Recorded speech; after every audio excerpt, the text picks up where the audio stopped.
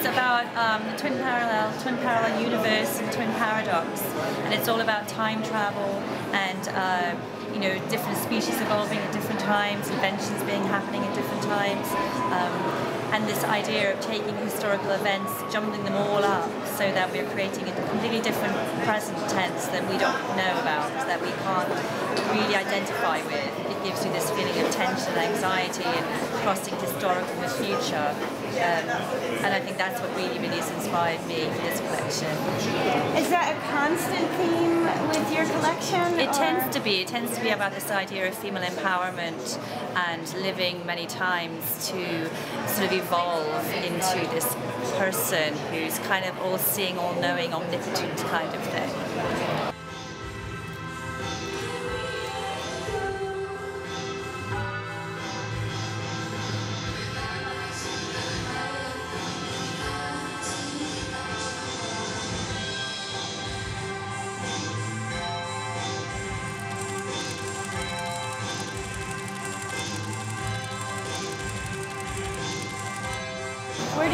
Learn your craft? Well, basically, my mum was a designer also, and we lived in the States for many years.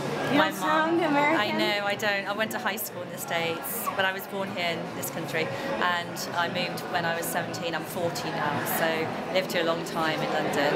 Um, my mum was a designer in Saxon Avenue, Neiman Marcus, um, and then also for Lorimar Productions for Dallas and Dynasty programs in the 80s, which is really quite funny. Um, but I kind of grew up with it, and I trained then with Alexander McQueen and Vivienne Westwood, did a fashion degree here, and, and also performance drama degree as well. Um, and I think that's it, a lot of the sort of idea of performance and drama comes out through my garments.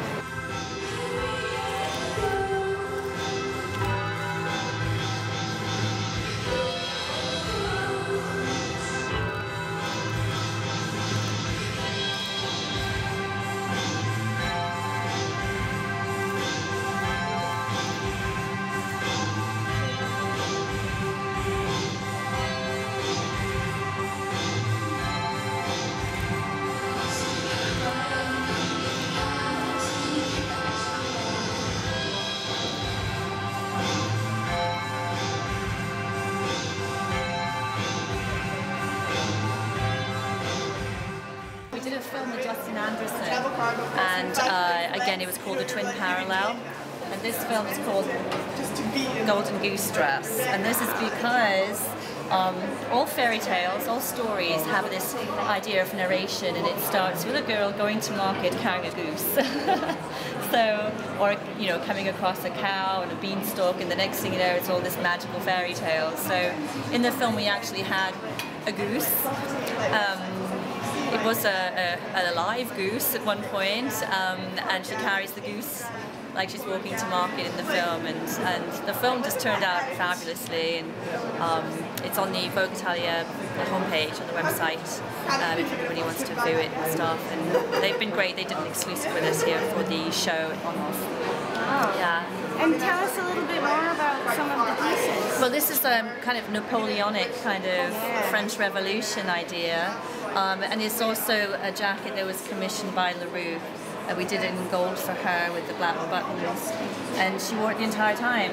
Um, and it's all finished rather nice. We did a this kind of seam detail at the back and the nipped in waist, so it kind of is very um, flattering for the female form. You know, it's um, empowering with shoulder pads as well, but. But also really versatile, really versatile garment. And we take a lot of care and attention to finish the garments off beautifully. We have um, inside corsets, so it has lots of inner support, and then it has the power mesh here on the sides. Um, so it gives you lots of support uh, for your bust, and you feel quite secure. You don't need to wear a bra with this. Um, and this is a cute little romper suit that you can dress up with high heels and a jacket and make it evening. You could also do it in this fabric here, which is a hand-woven, bespoke silk brocatelle woven in Italy, um, with the insertion braid on the back of the garment, again to create nice lines for the figure, engineered seams. And this could also be in this fabric, um, and vice versa. So, you know, we do most garments in all the different fabrics and all the different leathers. So it's quite a versatile collection, really. Yeah. So bespoke is are a lot of your pieces bespoke, or do you also have sort of a you know pret-a-porter line? Yeah, I mean this is this is ready to wear, but we have done a few pieces that are bespoke that are in in with this. Um, and when I was at Westwood, I did. Um, the special orders for private clients. So that was all for couture. So that's how I sort of made this, you know, as, as well made and as finished as nicely as I could possibly make it. I think that's really the signature of the label is the, the quality of fabric and the premium finish. And that's what you're paying for really, you know, rather than a trend. And where do you think fashion is going? I mean, a lot of people are saying that this um, this every six months having to come up with a collection. Yeah. You know, what's your opinion of that? Well, I, stressful or? It is stressful. It's, it's, in some ways, it's kind of like a hamster wheel, and you're going round and round and round, and you never sort of get off. But in some cases, I think women that I identify with are very comfortable in their own skin. They're very, they're very aware of what suits them and they don't really buy into this whole trend thing. They're buying a product that may be a little bit more expensive, but then it's beautifully finished, it's going to last for years, and they're going to wear it again and again and again. So it's more like investment pieces really than buying into trends. Um, and that's really where we see our label at